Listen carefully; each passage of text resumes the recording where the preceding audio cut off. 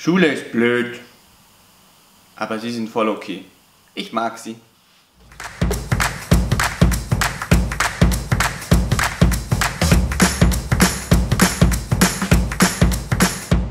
Hallo liebe Lehrerinnen und Lehrer. In diesem Video geht es um unmotivierte, um ähm, schwierige, um störende Schülerinnen, wie dass es einen Weg gibt, damit man diese viel besser erreichen kann als vielleicht bis zuvor.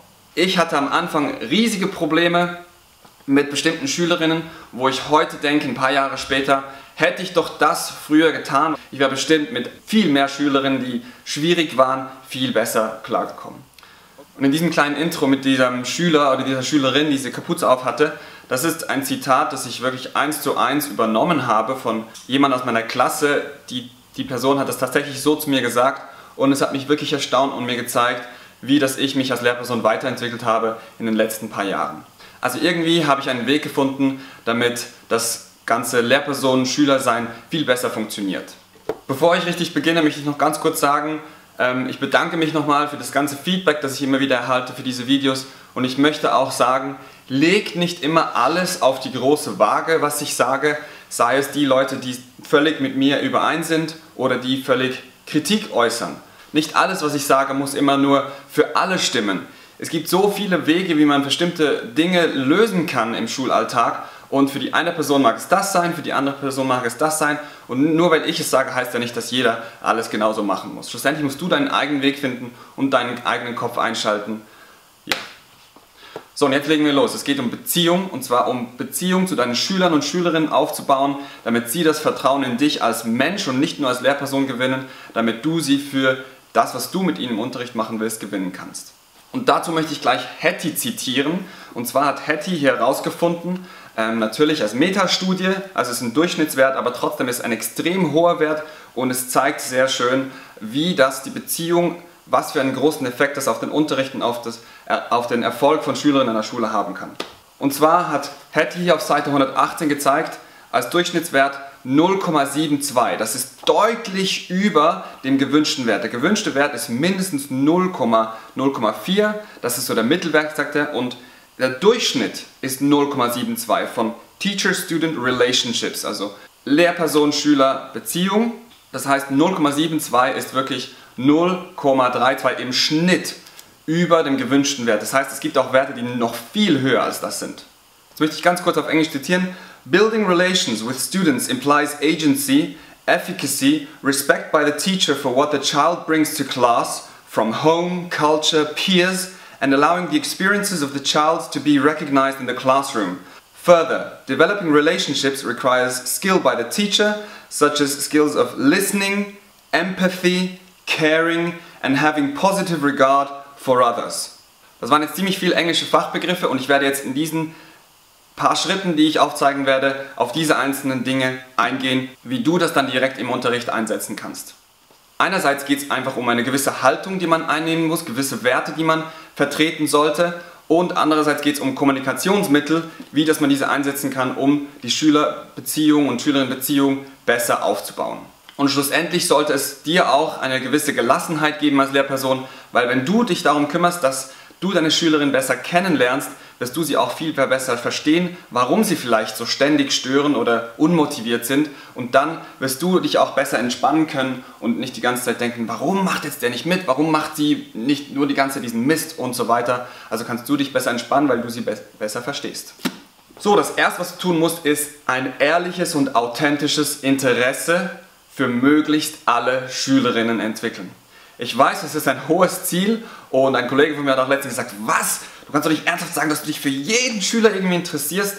Und natürlich es ist es sehr ambitioniert, für jede Person ein Interesse zu entwickeln, aber du musst ja nicht gleich viel Interesse für jeden entwickeln. Ich möchte damit einfach nur sagen, jeder Mensch hat irgendetwas Interessantes an sich. Und du kannst, ich meine, du kannst Schülerinnen alles fragen. Familie, Freunde, Hobbys, Interessen im Leben und du wirst garantiert irgendetwas rausfinden, was du noch interessant findest. Etwas, das du nicht wusstest über diese Person. Also suche ein bisschen Zeitfenster, sei es in kleinen Pausen, vielleicht mal im Unterricht, wenn gerade die Klasse arbeitet, dann kannst du ein kurzes Einzelgespräch mit jemandem haben und fragen so, hey, was hast du am Wochenende gemacht oder wie geht's, wie geht's deinen Geschwistern, wie geht's deinen Eltern, was auch immer. Und stell einfach Fragen. Deine Schülerinnen werden automatisch anfangen zu sprechen. Die einen mehr, die anderen weniger, aber du musst dich ein bisschen rantasten. Punkt Nummer zwei, und das ist viel, viel schwieriger. Das ist zuzuhören, ohne zu werten. Denn Schülerinnen werden Sachen sagen und Dinge tun, wo du denkst, hey, geht's noch? Aber wenn du dir überlegst, es steckt noch viel mehr dahinter, hinter diesem Verhalten, hinter diesen Worten und du dich dafür interessierst und mehr rausfindest über den Hintergrund von diesen Schülerinnen, von Familie, Freunden und Peers, dann wirst du diese Person noch viel mehr verstehen.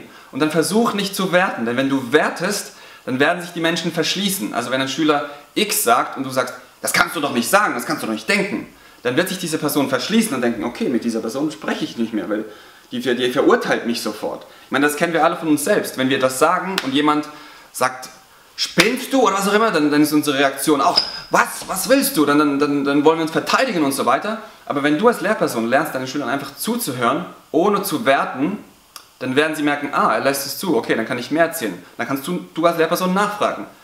Wieso kommst du auf diesen Gedanken? Was hat dich dazu gebracht, diese Handlung zu tun? Dann erzählen sie etwas und dann fragst du nochmal nach so. Ja, aber weshalb? Warum? Was geht da vor? Was, was hast du dir dabei überlegt und so weiter? Versuch zuzuhören, ohne zu werten und die Schülerinnen werden sich dir viel mehr öffnen. Der dritte Punkt ist gleich überschneidend mit dem vorigen Punkt. Und der ist Ask more, talk less. Also ask more, talk less. Frag mehr, sprich weniger. Wir Menschen tendieren dazu, viel zu viel reden zu wollen und Ratschläge zu geben und in Gesprächen einfach sofort deine eigene, eigene Meinung hingeben zu wollen. Aber wir Lehrpersonen, wir sprechen sowieso schon viel zu viel. Also wenn ein Schüler oder eine Schülerin endlich mal zu Wort kommt, gerade in einem Einzelgespräch mit dir, dann lass die Person auch sprechen und stell mehr Fragen. Was geht dir durch den Kopf? Weshalb denkst du das? Wie kann ich dir dabei behilflich sein? Was ist wirklich wichtig für dich? Was willst du damit beabsichtigen? und so weiter. Also stell Fragen, damit der Schüler, die Schülerin zu Wort kommt und einem wirklich einfach zum Sprechen kommt, als dass du nur Ratschläge gibst und deine Meinung sagst, außer du fragst nach, ob sie deinen Ratschlag wollen oder ob du sie irgendwie unterstützen kannst und sie sagen, doch, ich würde gerne ihre Meinung hören, dann kannst du es sagen. Aber stell mehr Fragen, als dass du die ganze Zeit nur sprichst. Der vierte Punkt ist auch relativ schwierig. Und das ist, wenn du siehst, dass schwierige, unmotivierte, unmotivierte oder störende Schülerinnen plötzlich doch im Unterricht irgendetwas machen. Und dann musst du unbedingt diese, auch wenn es nur kleine sind, kleine Anstrengungen loben.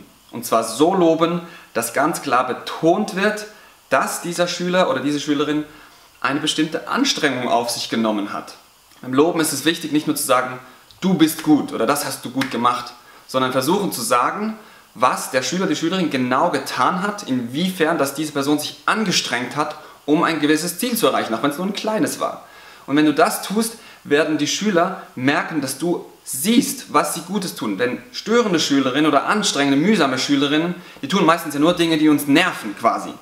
Aber wenn du versuchst, ein Auge dafür zu entwickeln, was sie auch Gutes tun und sie auch ganz klar darauf hinweist, hey, da hast du dir richtig Mühe gegeben und das gemacht und dann hast du das erreicht, das ist super dann werden sie merken, er sieht mich. Er, er oder sie, sie, sie hat gesehen, was ich getan habe. Und yeah, cool, okay, dann mache ich vielleicht nochmal etwas ganz Kleines, auch wenn es nur kleine Dinge sind. Und das kann wie ein Dominoeffekt sein und ein kleiner Stein bringt dann das Ganze in Bewegung, hoffentlich.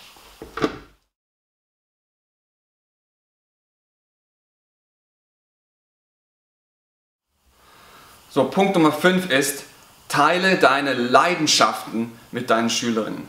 Zeig, dass du deine Passionen im Leben hast. Zeig deine Interessen, zeig deine Hobbys. Klar, jeder muss seine eigene Grenze festlegen, aber zeig, dass du Spaß hast an dem, was du tust.